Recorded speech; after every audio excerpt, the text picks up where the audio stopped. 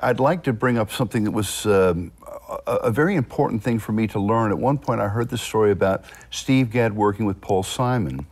And you might, you might know this as well when Paul had asked him about playing on a track, and Steve carefully listened to it and then said, I don't hear any drums on it.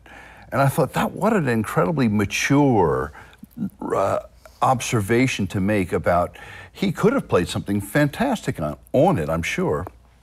But there's a point at which you know you're crowbarring something in or it really musically belongs, and he knew the difference.